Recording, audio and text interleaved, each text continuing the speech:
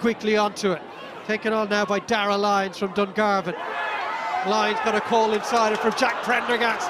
Prendergast making good inroads here and off the right hand side. Fizzes one over the bar for his first score.